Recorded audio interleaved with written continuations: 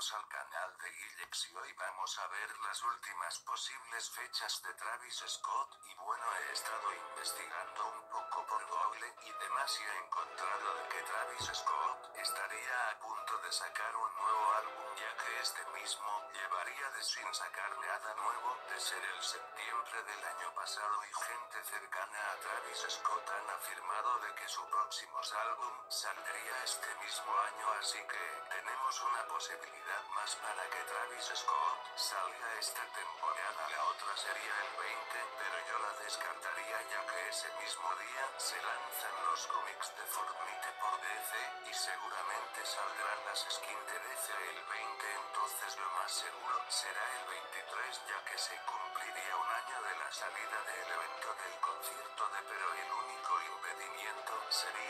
tres días antes habrían salido las skins de DC y una tinta con mayor láser Travis y Marshmallow sería bastante grande y yo